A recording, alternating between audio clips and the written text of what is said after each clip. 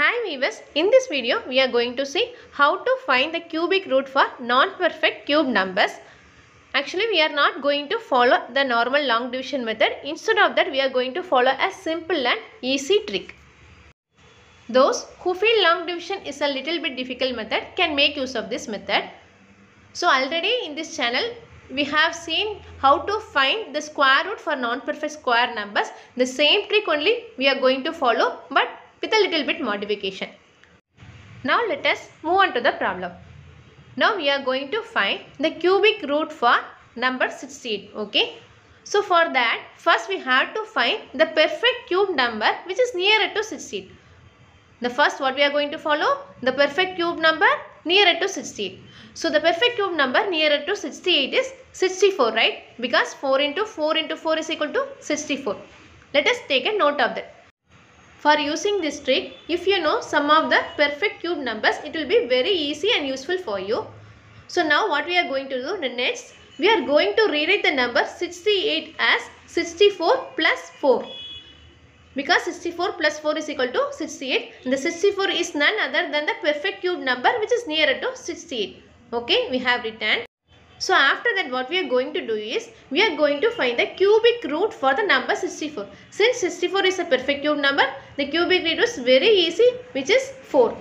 So let us write. Then next we have to write the plus as it is then the 4 also as it is. Divided by in the denominator what we have to do is we have to write 3 into. Whatever the problem may be, it doesn't matter. In this step, you have to write 3 into in the denominator. This is the small thing you have to remember always. Next, what we have to do is, you have to find square for the number 4. That 4 is the cubic root of the number 64. You have to find square for that number. So, if you write, we will get 4 square. So, these are the tricks you have to follow. Once this step is over, only calculation is pending. Okay. So, while doing the calculation, what you will get? in the denominator that is 3 into 4 square that is 48.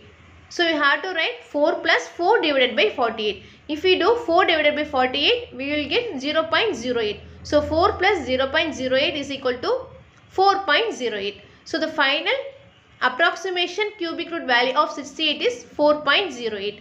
So you have to remember one more thing. In this method you can find only the approximation value not the perfect value. So whenever approximation value is needed for you, you can use this method. Those who find long division method is a very difficult method.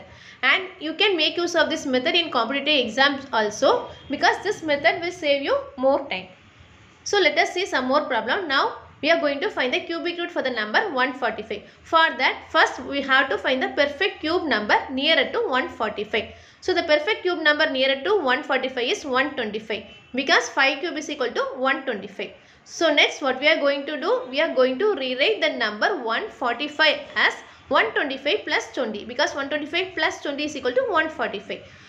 So next what we are going to do, we are going to find the cubic root for the number 125 for the perfect cube number 125. So the cubic root for the perfect cube number 125 is 5. We all know right. So let us read it as 5 plus we have to write the 20 as it is divided by in the denominator, first what we should add? We should add 3 into, this is the step I ask you to remember always. Next, we have to find the square for the number 5. So now let us write 5 square. Square of the number 5 is 5 square. So that's all, only calculation is pending. If we do the calculation, we will get 5 plus 0 0.26 because 20 divided by 3 into 25 that is 20 divided by 75 is 0 0.26. So the final answer will be 5.26. So the approximate cubic root value for 145 is 5.26. I hope that this trick is very clearer to you now. So finally let us see one problem and shall finish the video. So now we are going to find the cubic root for the number 8100. For this what we have to do we have to find the perfect cube number nearer to 8100. So the perfect cube number nearer to 8100 is 8000 because 20 into 20 into 20 is 8000. Let us take a note of that. Next we have to rewrite 8100 as 8000 plus 100. Okay. Now we have written Next what we have to do, we have to find the cubic root for the number 8000. So the cubic root for the number 8000 is 20. Let us write as it is plus 100 divided by, in the denominator first we should add 3 into, then what we have to do? We have to find the square of the number 20. So let us write 20 square. Okay. So if we do the calculation, we will get 20 plus 100 divided by 1200. The value of 100 divided by 1200 is 0.08. So let us rewrite as 20 plus 0.08.